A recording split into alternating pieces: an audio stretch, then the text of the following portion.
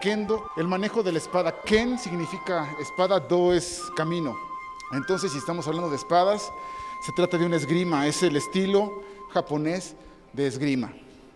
Para practicar kendo se necesita esta espada de bambú que ven ustedes, es la representación de una katana. Al decir katana lo que me estoy refiriendo es al arte de guerra que desarrollaron los samuráis en la época feudal en Japón.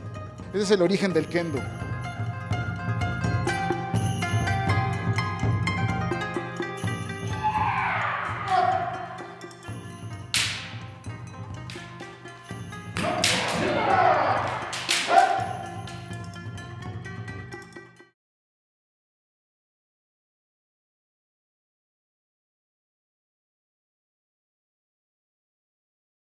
Gobierno de México.